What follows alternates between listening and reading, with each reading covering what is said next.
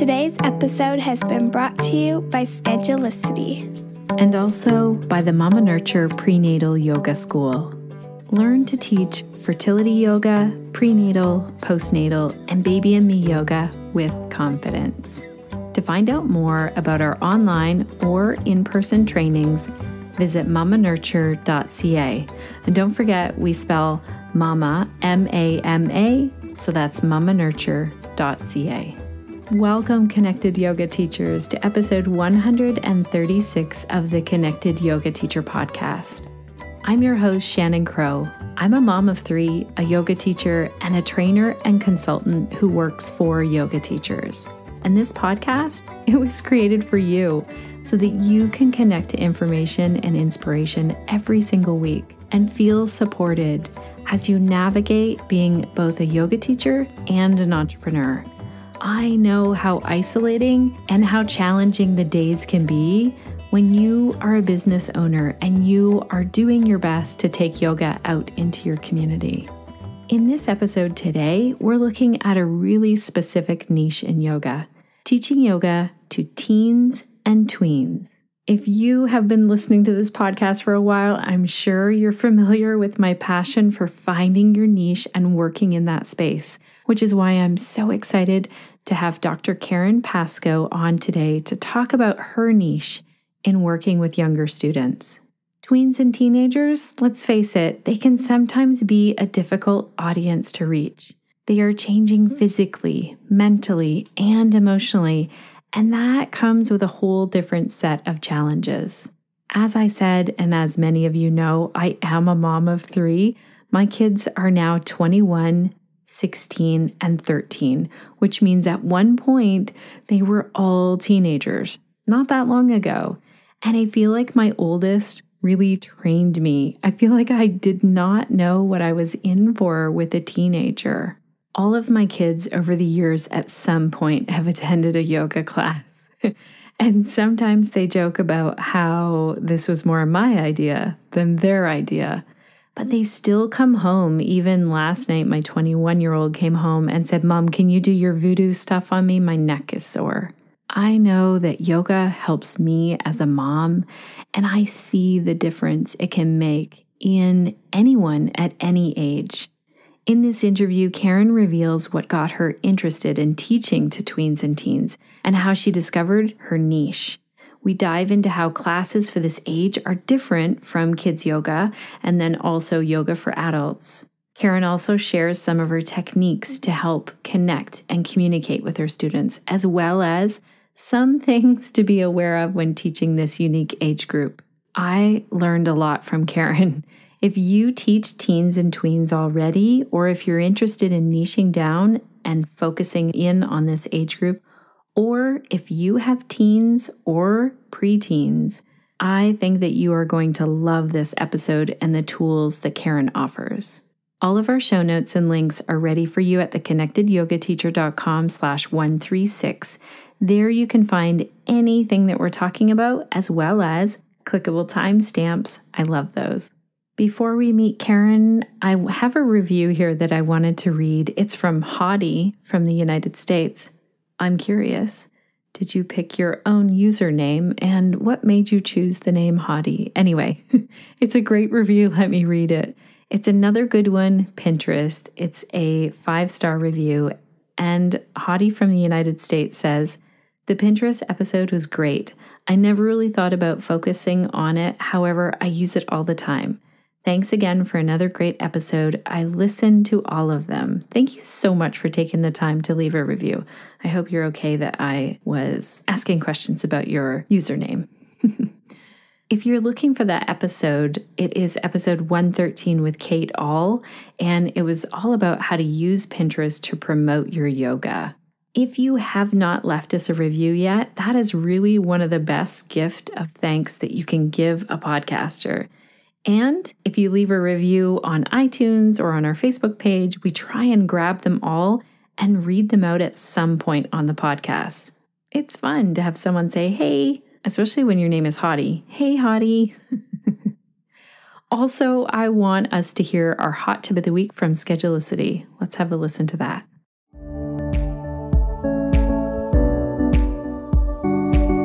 Hey, connected yoga teachers, this is Shayna with the Schedulicity Hot Tip of the Week. Successful full time yoga teachers have a lot to deal with before they even hit the mat marketing, processing and tracking payments, checking people in and trying to make sure they all fit, accounting, keeping up with email correspondence and social media campaigns.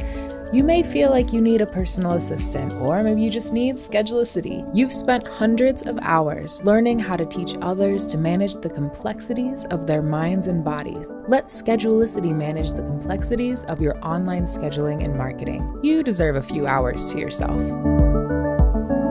Thank you so much, Team Schedulicity. I really was appreciating you and your reports today when I wanted to just make a list of everyone who I've worked with in 2019, I like to reflect back and see all of the yoga teachers that I have met with one on one.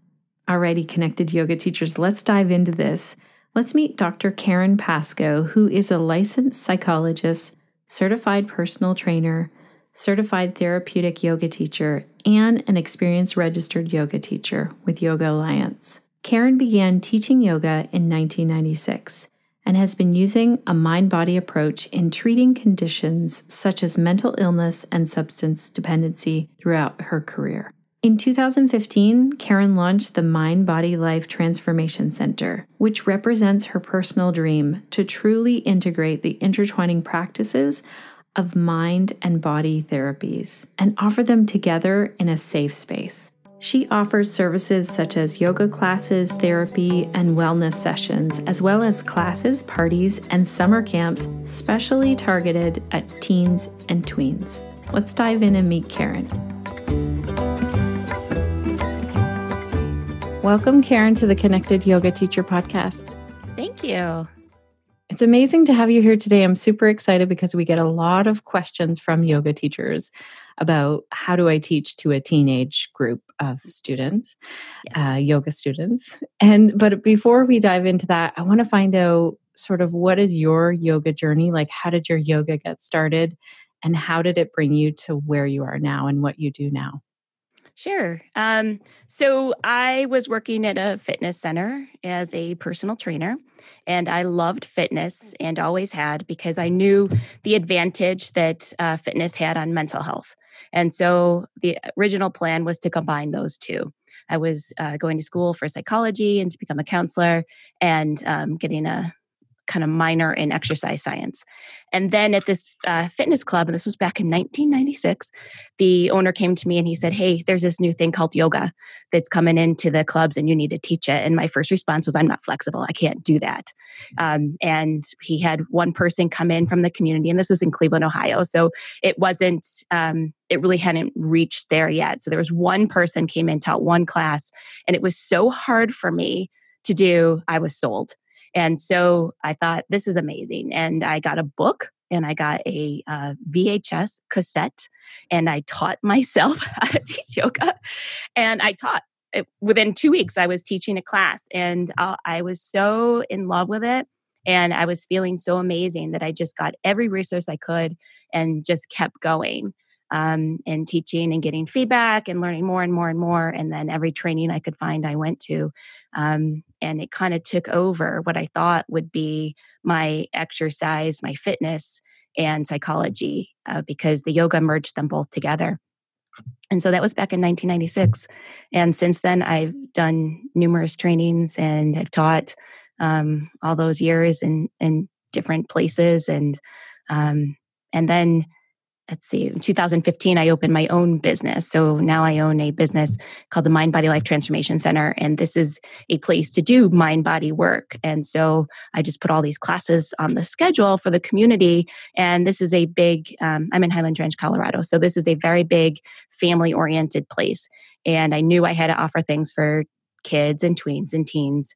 And the response was amazing. And so now um, my teen tween stuff fills up, it sells out.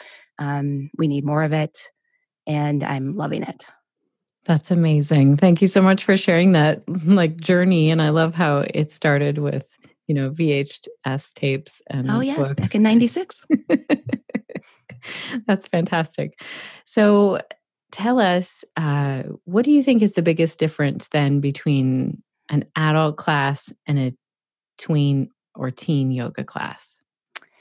Uh, I think there's a few differences, but uh, kind of just looking at it, it'd be format. Uh, you you go into an adult class and the teacher centers you and just you you just launch and hopefully she has some intention set for the class so it's structured really well and um, it's very meaningful. And in the tween and teen classes you have to have these pauses to engage and re-engage because they don't have the attention span for that um, it needs to be more of a community oriented experience so in the adult classes usually um, everybody's facing the same direction and they're usually facing where the instructor is, especially if the instructor leads the class.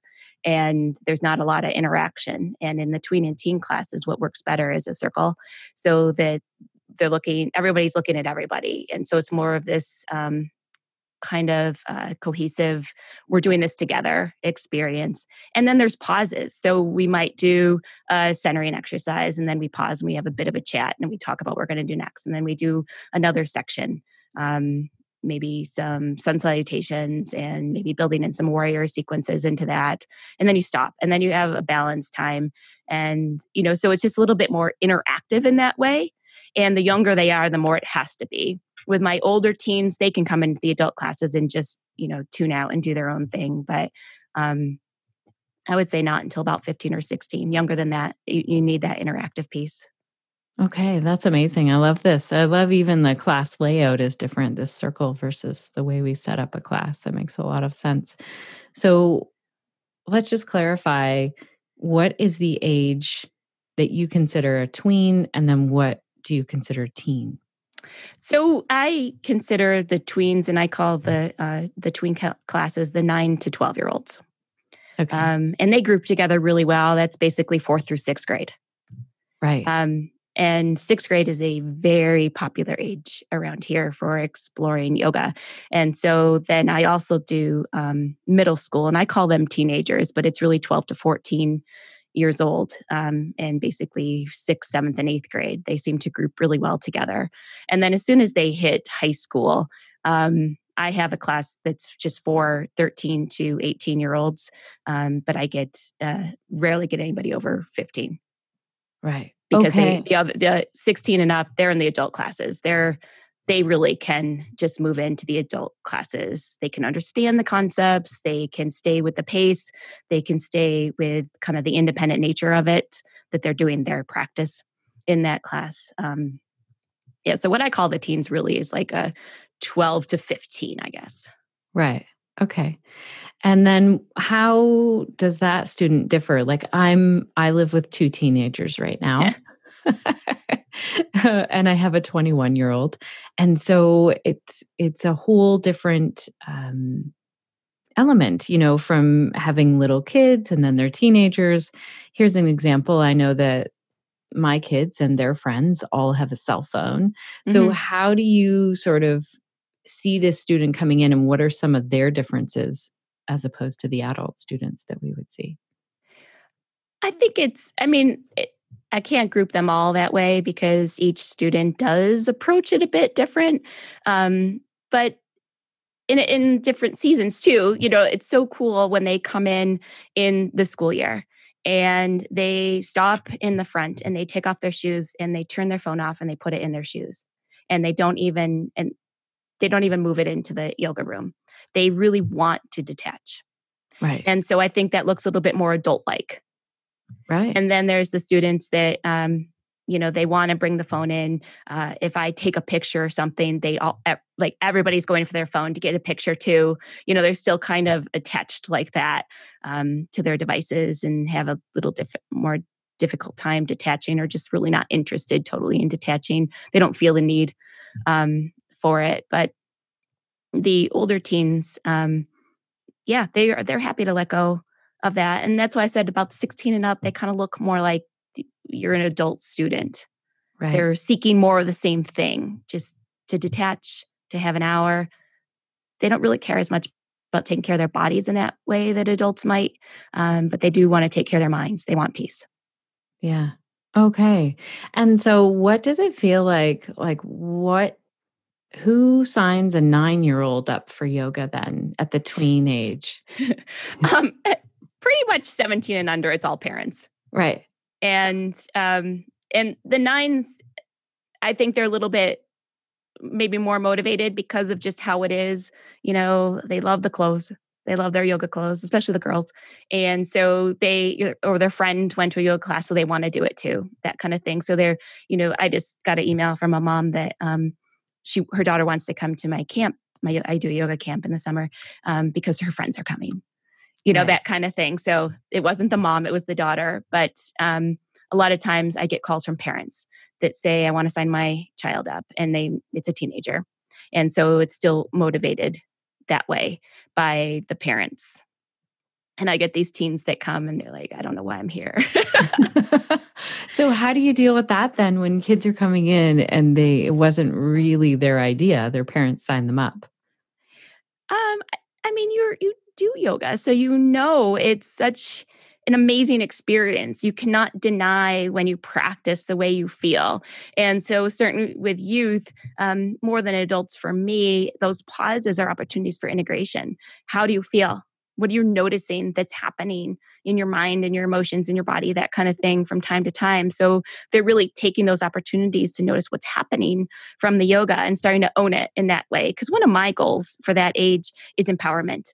I feel that yoga teaches so many skills for emotional regulation self-regulation mindfulness detachment all these amazing things and we want the youth to experience that for themselves because when they know they have that capacity, I didn't do that for them. They did that through the work that they did in the practice. It's always there and they can use that at any time. They feel empowered. They don't feel so mm-hmm. vulnerable to everything outside of them in school, all that's happening just in their world, and that kind of thing. So, those opportunities for integration so they can start to feel like, well, yeah, yoga's kind of cool. I, it made me feel this way. Now I have these strategies. If I need them, I know how to relax. I know how to let go, those kinds of things. So then they're a little mo- more motivated to come back. Okay, that's amazing. What I wanted to ask you then is what does your class look like? I realize that every yoga teacher has a different way of putting a class together. But is there a difference between the way you put a tween class together versus a teen and can you kind of walk us through what the structure of both of those is mm-hmm. so with my tweens which is my 9 to 12 year olds it's a 45 minute class that seems to be about the right amount of time. The my more advanced students because i have some students that have been practicing with me for three years now and so i could definitely stretch them out to the 60 minute and they do dabble every once in a while come in with their parents or something into the adult classes but um, 45 minutes we still we take about three minutes to get centered um, prior to that, especially when there's new students, we take a moment to just go around and say names and kind of something um, random, you know, your name and your favorite ice cream you know something like that because it's that cohesiveness that's going to make it uh, more interesting for them. And so we want that bonding piece to move in. Um, and so then a little bit of centering and then we start right out especially in the school year when the classes are after school because they've had that expectation of being formal and sitting still and following this plan and you, you want the yoga practice to feel very free for them and uh, creative in some ways. And so we do um, get into movement pretty quick for those ages where we set with sun salutations, um, taking deep, huge breaths, that kind of thing. And then kind of the excess energies, the leaky energy is a little bit uh, less. And then we can move into warriors and we do a lot of balance work and take the time to integrate. And we set up the younger they are, and especially when there's boys in the class, we do challenges with the balance because that's very appealing. Um, and a bit of a competitive spirit sometimes, but also with uh, we have a student stand in the middle and in tree pose because remember it was circle format and everybody dances around them crazy to try to distract them so they see how well they can center themselves and be detached and it's a riot. They love it. They ask for it to be able to do that kind of thing then we move on i mean i think the elements are a bit of the same as the adult classes so we do our warriors we do our balances um, we go into deeper stretches we then usually get our inversions in there, and I always get the kids upside down. And I talk to them about what's happening when they get that extra oxygen dump to their brain in a handstand. And we do pike handstands on the wall, those right angle handstands, so that there's no concerns about the balance there so they can really be in it and breathe in it and get that extra blood into their brains and stand up. And when we stand up we always say whoosha because it's like it's washing out anything excess in the brain and everybody does it in gestures just like i do because it's funny. And then um headstands if they're interested i always do support it. They want to do them in the middle of the room um, and that's usually where the conversation about this is not a ego driven driven practice. This is for your well-being. We're not trying to look like superstars here you know so let's use the wall. Um, and then um, some kind of closing cool down stretches. And by then and especially after the inversions because those are the single most calming pose that you can do um, i think adults feel that as well. Uh, it'll be silence after we get upside down. And so it's great to take into the cool down and then um, I, I do somewhere between a two and five minute shavasana, kind of just reading the room at the time. Um, I do a lot of guided meditations, you know, taking them places they can see things in their minds, um, encouraging them to establish their own happy place and giving them some elements to find that and how they can use that uh, at other times in their life. I use the meditation um, opportunity in Shavasana to really teach how to meditate so I do guided for them too, but in a way you can take yourself to this place because again, I want so much of the yoga to be strategy for them to for it to be empowering that these I'm teaching you, but these are your things. These are always available to you. You can use them as you need. And now you know the effect. Now you know what it feels like when you do this. So I would say the elements are all the same, you know, the pieces, kind of like a peak you know, around balance poses and then taking it it down. So it's not that different in that way. And the teen the middle school teenagers is the same format, but less pauses. The older they get, the less you pause. You just right. kind of keep going. Um, and then my older teens, that's a my 13 to 18 year olds, that's a 60 minute format, and that looks a lot like uh, an adult class. Um, but we spend more time in inversions and arm balances. Because okay. wow you if you get them building an arm balance and finding their strength and being able to do it you've got someone that's going to come back and try again. Right. Oh that's amazing. So i love how you said that you kind of shorten those pauses once they move up in age. Can you come back to the pauses and how like what those sort of look like. You gave a few examples mm-hmm. yeah so um, this is what it often looks like. We will um, with my 9 to 12 year olds we'll get sun salutations in then we'll start doing some warrior poses and maybe build short sequences you know kind of linking up warrior one two and three something like that. And then um, doing that a little bit where i know and i can see in their faces they're getting a little physically taxed Right. Those are challenging poses. So um, then we will maybe do a sun salutation and come down to crocodile, which is that pose where you lay on your belly and you turn your heels in and your toes out and you fold your arms underneath your chin. And so we're all in a circle. It looks like a slumber party. Right. And so we just have a moment where we just, you know, ah, that felt great. I feel so relaxed right now. Or, you know, maybe they'll say something because in that practice something came up emotionally and they just want to put words to it. And I think that's great. And I always let that go within a reasonable amount of time. Like this happened at school and um, I'm holding on to it. You know, they start to learn the language too that we we say with this. Um, and so it's just a moment to share something. And and you know, the younger they are, it's that still like uh the hands are always up in the air. Right. right. Is Karen, I have a question. Okay, hang on to your question. Um, you know, that kind of thing. And so sometimes there's pauses for that. You know, we have to be kind of realistic with time and what we're trying to accomplish. And I say that like this too with those ages, you know, let's get our yoga done first. Let's get this right. piece of our yoga done and then we'll we'll get to that question. So hang on to it. Um, and or sometimes it's just a comment. But it's those those are the pauses. That's what it looks like. We'll get in crocodile, we'll say something about how we feel. Someone might express something about their day, and then we move on. Right. Oh, that's nice. I like that. Thank you for painting that picture for us. I also really appreciate that your intention is to empower this age group. I think it's really needed. I see how much pressure uh, tweens and teens are under, like you know, that we have this whole like fitting in and and being and being themselves and all all of the things that go along with being a teenager on top of i think there are a lot of pressures you know through school different family like other people's expectations of what this age group is supposed to be doing and mm-hmm. yeah yeah.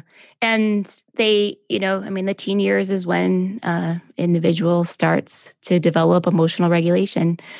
And if they're not being taught strategy and skill for emotional regulation, they feel very vulnerable because their emotions are at the height of the capacity. And so I'll get a parent that will come in and talk about their um, their teenager, uh, for instance, something along the lines of she just loses her mind. She just screams she screams. She's so upset. And I'm like nodding. Yeah. Uh huh. Yeah. Yeah. That's a teenage brain happening. Um, but then the youth in those moments, because the parents reflecting back, what is wrong with you? And they don't really feel that something's wrong, but that reflection back makes them feel that something's wrong with their emotions. They have then a strategy to regulate. They have a strategy to manage their emotions. They have a understanding of their emotions and something to do about it. Because if you ask them um some or if you say to them something like you got to calm down you've got to calm down. This is not that big of a deal. That is so dismissive first of all. So i hope parents stop saying that. But um they'll say something like i don't know how. I don't know what to do.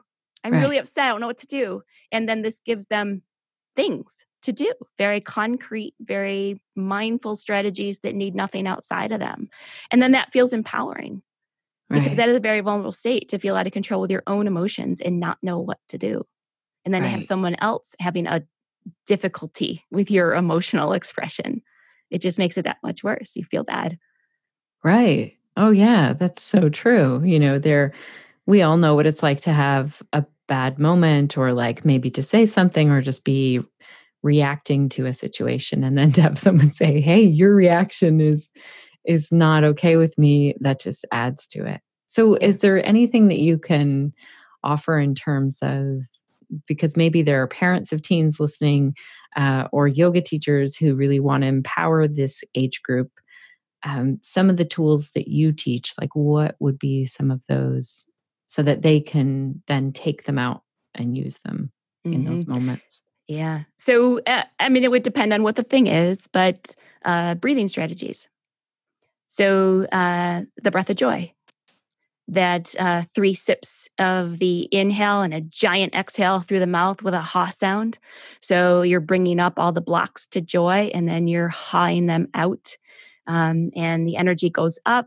Um, they're yeah, the prana's flowing when you do that. And so when they have a really down day or they just feel overwhelmed um, in a heavy sense um, from something that went on, then they have that strategy and it, you just do it five times, three sips in, you know, through your nose, sip in, sip in, sip in, fill up your lungs, and a giant exhale through your mouth. And they love that because it's quick, it's easy. I mean, they really can't do that in school. We kind of joke about the stuff that you can do in school, the stuff that you can't. Like, can you ask your teacher, to, can I stand up? I need to get in a headstand right now.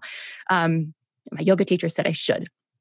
Um, or then uh, just teaching them how to breathe, deep belly breathing, teaching them um, the triangle breath that you know where you inhale for a count of five you hold for three you exhale for seven you know that kind of thing that helps draw their focus um, in um, helps them be less reactive out. It calms the nervous system because it's a longer exhale. Um, you can teach kaki breath k-a-k-i the beak breath you know where it's an inhale through your nose and then it's an exhale like you're whistling but you don't whistle so it's like a whistle face a beak um, that's very calming, very cooling. So if someone's temper is getting hot or they're feeling very agitated, that's a nice one. Um, so a lot of pranayama, um, meditation, uh, just even some standard mindfulness meditations, uh, imagining um, your thoughts are like clouds. They just float in and they float out off into the distance. And you're just sitting with your breath, witnessing the thoughts. You're detaching and watching simply um, making space for emotion, you know, giving yourself an opportunity to value the emotions that came up uh, that was probably accurate for whatever the situation is. So you just give a little um, validity to that and uh, sit with it and let it be for a moment and then a couple deep breaths to wash it away. You know i mean there's so many things to do and then there's the poses too um, you know you're feeling really anxious um, just moving gently and mindfully with the breath through sun salutations teaching that you're feeling uh, you have a presentation to do uh, mountain pose you know and really feeling the mountain pose and anchoring in grounding rooting centering you know all those kinds of things the list is endless you know and i mean then, we all love yoga so we know that everything is magical and should be used all the time. uh, so, do you draw the parallel for students? It sounds like you do. Like you say, when you have a presentation, here's mountain pose. Do you do you do a pose or do a breath practice and then say, "and this is good for," or do you just teach it and then they have it in their back pocket? I always integrate. I always offer, um, and then the time, let's practice it, and then you tell me how it feels to you. You know that kind of thing for an opportunity. But I am selling it a little bit in its intention. Um, this does this. Let's try this. And I say this um, to I, I, say this to my clients too, but uh, practice till you feel it. You know, practice mountain pose till it actually feels steady. Practice mountain pose till you feel rooted and grounded. Practice till you feel it Oh, I love that. Yeah. Because I know they do. The, the yoga poses do what they're supposed to do. Yeah. It does. And it just takes a little while for the whole system to kind of catch up with what it's really available to do for you. And so practice do you feel it. Do you then focus in on work mostly with tweens and teens in your practice as a psychologist or or is it all ages? Um, it's tween and up. So okay. I, I work with a lot of adults and I've always worked with adults. Um, but for the last four years, um, my tween and teen population in my practice has increased uh, exponentially because it's so appealing to them um, from a therapy standpoint that they're not going to come in and just talk. Right. That is a nightmare scenario besides a few random students or youth that yeah, I want to go talk to someone. I mean, you almost never hear that. I can't right. wait to go talk to a stranger about my difficulties. Um, but when you are saying um, you're going to go meet with this person and uh, she's going to help you with your anxiety and she's going to teach you some yoga stuff. Right. Okay, I can do that. You know, it sounds so much more appealing, especially to the boys. You know, the idea that they would come in for a traditional counseling is not appealing at all um, but that they're going to come in and we're going to move. You know, right. we're going to do some stuff and um, get the negative energy out and the good in. And yeah, conversation will unfold. But you don't sell that. Like it, it just happens. And I always tell the parents, like, just tell them, like, just get them in for a private yoga session. Right. We'll take it from there. Yeah. We'll see where it goes because then the expectations are really what it's going to look like anyway. Um, and the opportunity for the therapy and the conversation that needs to happen is is there, but it's yeah. not the lead. So it doesn't become a barrier. Do you do more of the yoga portion with teens and tweens than you do with adults, or is it the same? Um, it really is a client to client kind of thing. Mm-hmm. Um, mm-hmm because I do use a lot with the adults. It, I, I have very few uh, tweens or teens that I see in the, the, therapy side of this, the psychology side of this, um, that we do none. Right. Uh, where it's just talk therapy, cognitive behavioral kinds of things. I mean, because you just can't, because whatever they come in for, it's all mind body, right? Like the depression, anxiety, no matter what they're coming in for, it's in it's in their body as much as their mind. Their uh, physiology is having a response to, to the mental health condition. And since I am trained, I do, I just offer both. I, I mean, I just, I feel that it's appropriate to do that. Um, but I would say proportionate of time spent probably more with the yoga strategy and the practice with the youth and a bit more in conversation with the adults. Right. Uh, is there anything that you can think of for if there are yoga teachers listening who are being asked to teach teen yoga because you were saying it's really needed? There's more. Oh my goodness, yes. What tips do you have for them if they're if they've never taught a tween or teen yoga class?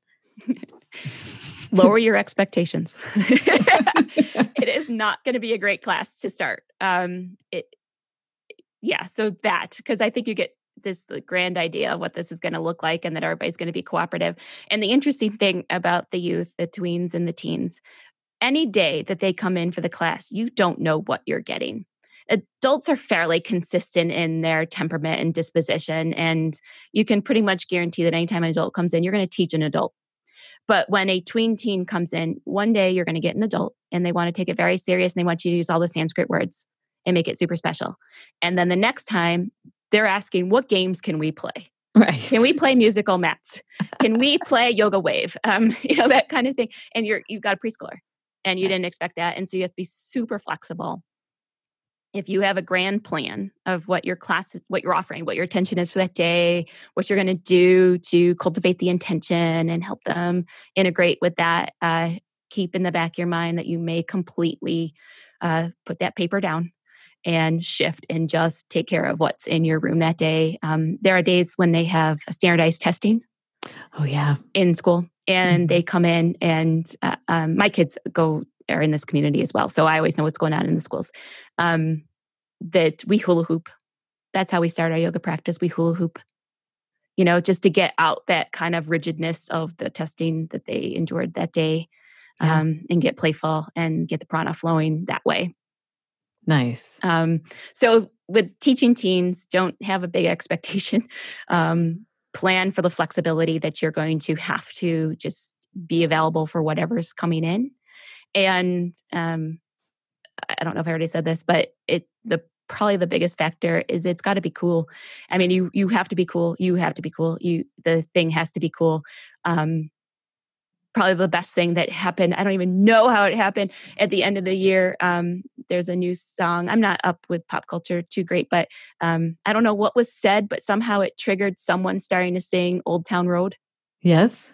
So quickly on my phone, I got it to play. Yeah. Old Town Road. Okay, now I'm the coolest person in the world because now right. I've got this piped into a yoga studio here. Um, you know that kind of thing. So music choices um, sometimes they like the popular stuff sometimes they like something that they they wouldn't hear anywhere else because it makes then the yoga experience special and unique and different. Um, i get a lot of that feedback uh, from my students that they like my music which is um, nothing like it's not uh, pop charts kind of stuff. You know it's more ambient trance kinds okay. of things. Um, but again with your group when if you're going to teach yo- teens yoga yoga to teens or tweens um, when you get your group going ask for the feedback too. Right. you know what they want more of or less of. I mean i wouldn't just do a blanket uh, what do you want class to look like? You know that kind of thing. But um, do you want to hear more of this or do you want to move on to this? That kind of thing. I think you can get the feedback. Or a key student um, especially one that's coming consistently you know just kind of pulling them aside at the end like hey um, do you prefer that or should we try this? And they'll tell you, yeah, let's do that. That'd be way better. And so take their feedback. That's a good idea. So when you said you have to be cool, you have to be um, so cool. Now I live with two teenagers who know mm-hmm. that I am the most uncool person. Is that just because I'm their parent? Yeah, you're okay. you're cool. You're cool. Don't worry about it. Um, so you'd be cool to others, other parents, teenagers. Right. Yours, it, that's that ship has sailed. It always has. But um, I I mean, and, and it sounds kind of weird, but you know the, so again the music um, the environment which i think is one of the reasons it's difficult when people are trying to teach in the schools because you've got what you've got and so you don't have this um, kind of sacred space you can't necessarily create a room that has an ambiance to it but i think if you are going to teach um, in kind of a less desi- desirable environment, then bring some props, um, bring some aromatherapy. Um, if you have eye pillows, bring them for everyone for Shavasana. You know, if you can do that and just bring a tissue, you know, to keep it kind of hygienic. Um, get, you know, set up a little like a kind of a meditation space or something. You know, even if you can't have fire candle, um, bring a um, LED candle that's going to, you know, turn the lights or you know, kind of change colors or something. Like make it cool. Right. And even how you dress. You know, um, wearing yoga stuff, have beads.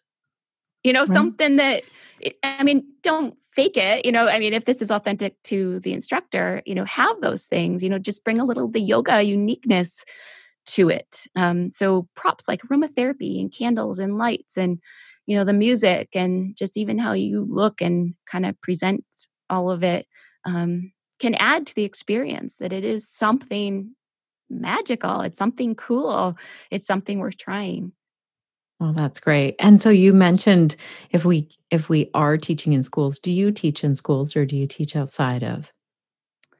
I don't. I have my own studio. I am Right. So, which is so convenient. I mean, I, I know I am in a luxury position here because I can control everything, um, the lights, the temperature, the you know everything like that.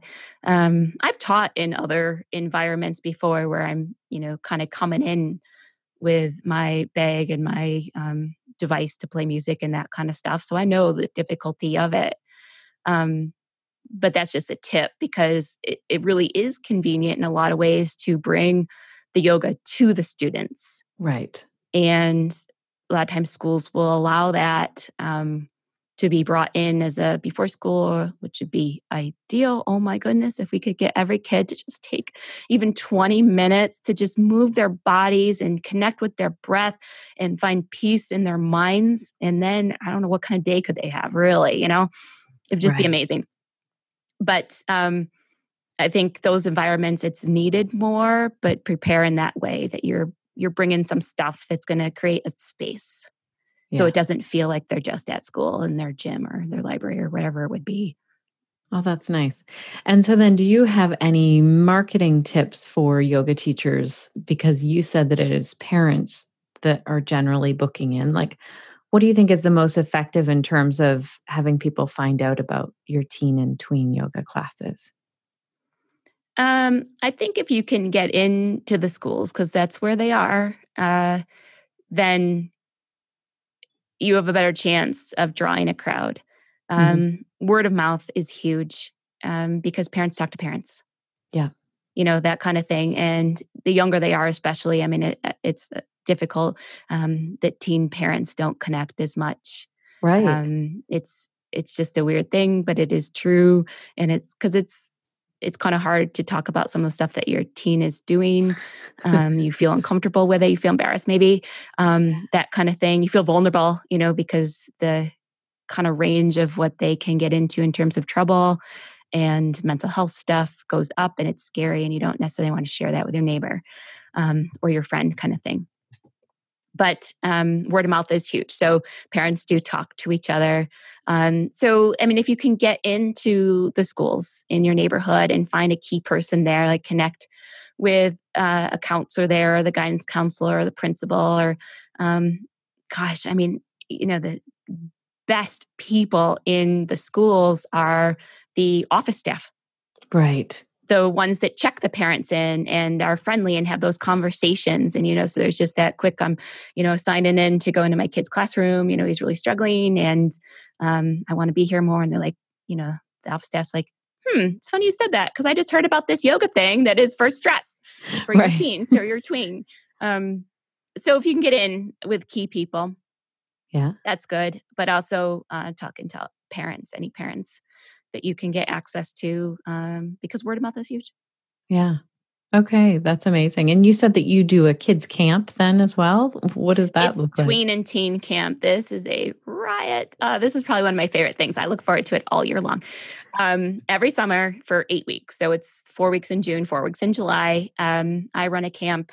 It's uh, the tweens the 9 to 12 year olds. It's on wednesdays from 1.15 to 4.15 and then the teens what i call the teens which and and here i just do it a little different. It's for 11 to 14 year olds um, because 11 and 12 are my most popular ages so i really need to have more space for them.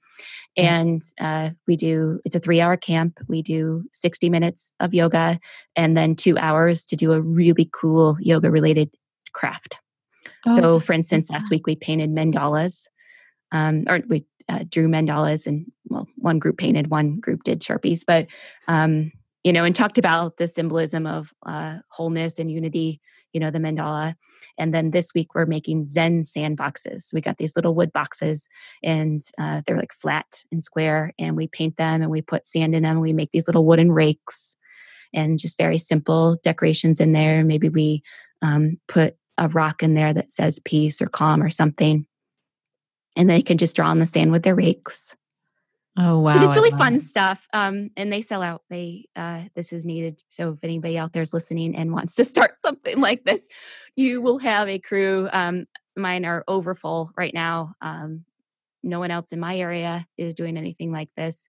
We have uh, yoga in the park here in the summer, which I, I think those things pop up, um, which I think is another great idea as far as marketing. If um, if there are parks available, you know, contacting the um, whoever manages the parks. The here it's the Metro District, I think is what it's called, um, and trying to offer yoga in the park. Um, you know, just as a space and being outside in nature is a lovely place to do yoga. But other than that, there's just not too much going on. So these camps are huge and they're so fun. Oh, that's amazing. Yeah. Do you have any resources that you would suggest for yoga teachers who are interested in teaching teens and say they want books or um, online resources or trainings? Do you have anything that you suggest? Well, I mean, I think there's a lot of uh, kid yoga trainings around. Um, I think the trainings tend to focus on uh, the younger mm-hmm. kids. Uh, like I said, I offered a workshop on how to teach kids, tweens, and teens, and I'll continue to do that. Is that workshop online or in person that you offer? It's in person. Again, yeah. I have a space. I mean, I'm really in a luxury position to have people come to me, and I'll get another one up there because I do want it to. Um, we need this. Yeah. We need more people doing this and thinking like this and um, approaching youth but I think as far as books, um, so this is not a yoga resource, but um, it's a teenage resource that it's one where you know how you have your favorite thing that you just wish everybody would read. I wish everybody would read Daniel Siegel's Brainstorm.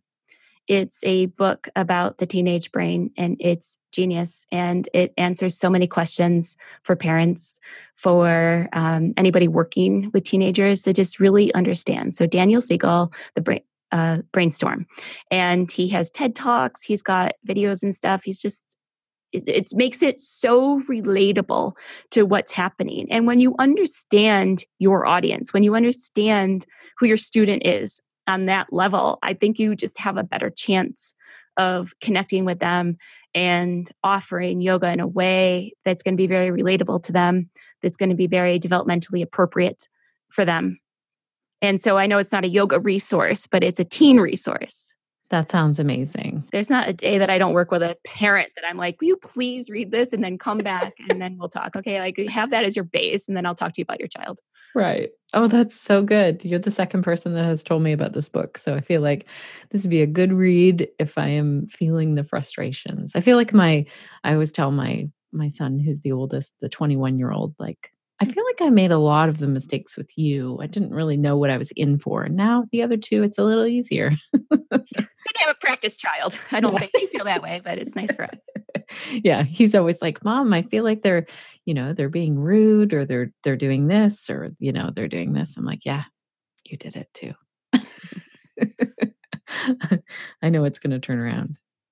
Thank you so much for this. If people want to find out more, maybe get in touch with you and find out how they can either sign up for a workshop or maybe a mentorship call with you, how do they do that?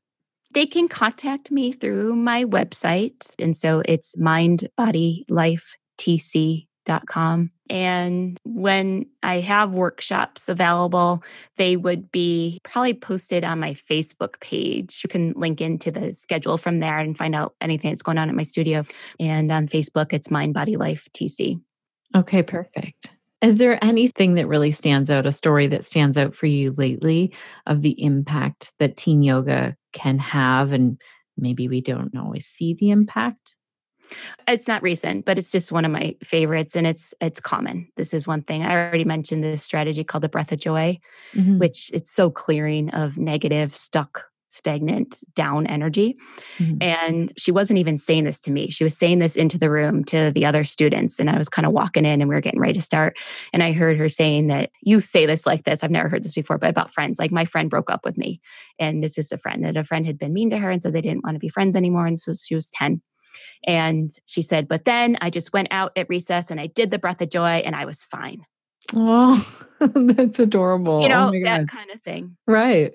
I'm going to remember that. The next time I have tech issues, I'm going to try the breath of joy. yes. And I've had interesting thing, Nadi Shodhana, you know, the alternate nostril breath. Yeah. I teach that to a lot of teens that report to me perseverating thoughts. Like they get stuck on thoughts and they can't let them go. Like something happened, they felt bad about it, they didn't like what they said, and they can't stop thinking about that. And I teach them Nadi Shodhana and they love it. And I'm always a little uncomfortable to teach it because, you know, you use your hand and it's manual and you're touching your nose and, you know, all this kind of stuff. And it's a little bit awkward. They love it. And so they often say, you know, and I get feedback like, okay, so what are the yoga are you using? What's working for you? Uh, oh, the alternate nostril breathing. Wow. Time I do that every day. Wow. Yeah. That's amazing. Oh, you're making a big impact. I'm just thinking that if we all kind of learn these little coping tools, yes, you know, our listeners, most of them all do yoga and have fallen in love with it. That's why they teach it. There's a lot of the population that doesn't know about these oh, tools. So thank you. Yeah. So please, teachers out there, spread it around. Yeah. All right. Thank you so much for your time today. You're welcome. Well, connected yoga teachers, I want to hear from you. What was your key takeaway? Are you feeling inspired to teach to this age group? Or are you thinking, no way, not my niche, but it was fun to learn how this is different from children's yoga and adult yoga. If you are a yoga teacher who is teaching to teens and tweens, I would love to hear from you, either in the comments of our show notes page or tag me on social media. Tag Shannon Crow Yoga or the Connected Yoga Teacher. You can look for either one. And if you are in our Facebook group for Connected Yoga Teachers, tell us about what you thought of this episode and how you bring yoga to teens and tweens. I think this is such important work, and I know that we're not all cut out for it. And that's the amazing thing about niching down and finding your niche. What a difference we can make with this age group that will really ripple out into the population of our community. One key takeaway for me is that I want to read this book, Brainstorm The Power and Purpose of the Teenage Brain by Daniel J. Siegel. If you are looking to hang out before our next episode, Connected Yoga Teachers, there are lots of ways to do that. There are online free trainings. There are ways to work with me. If you go to the connectedyogateacher.com, look under work with me if you want to work one on one Look under trainings and events if you're interested in learning about prenatal yoga, yoga for pelvic health, the koshas, how to create content, and many other things. I want to send a huge thank you to our team over here at the Connected Yoga Teacher. They do so much to make these episodes possible, and their work means so much to me. Also, thank you, dear listener, for showing up and being here and hanging out. And I want to know what will you be doing this week to stay connected? Is there some way that you can stay connected to yourself, your yoga practice, or to your community so that you can share the yoga that lights you up?